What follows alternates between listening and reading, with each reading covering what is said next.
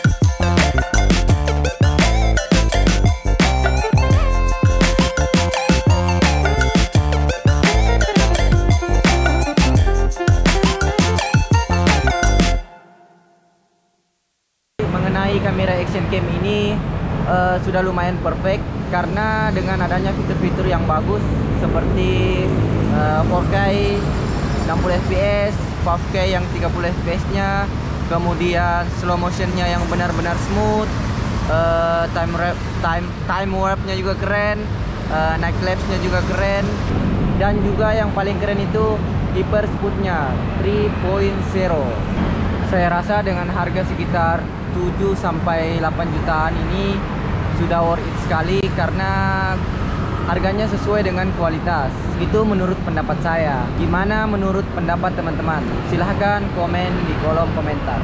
Sekian dulu dari saya. Jangan lupa klik tombol subscribe, like, komen, dan juga share. Semoga video ini bermanfaat. See you next time di video berikutnya. Assalamualaikum warahmatullahi wabarakatuh.